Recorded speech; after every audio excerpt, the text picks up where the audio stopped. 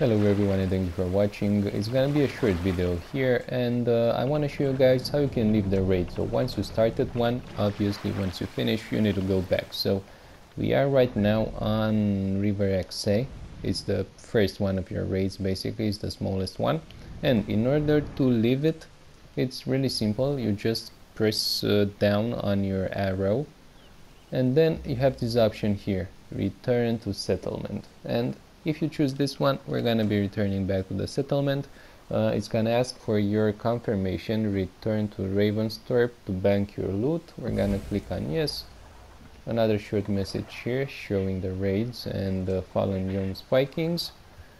Click on close and that's it. So right now we're gonna be turning back to Ravensthorpe and we're gonna be ending the raid in Exe. Alright, well this is everything you need to know. It's really easy, it's really short, it's a short video. Thank you for watching, hope this was useful. Please subscribe. Goodbye.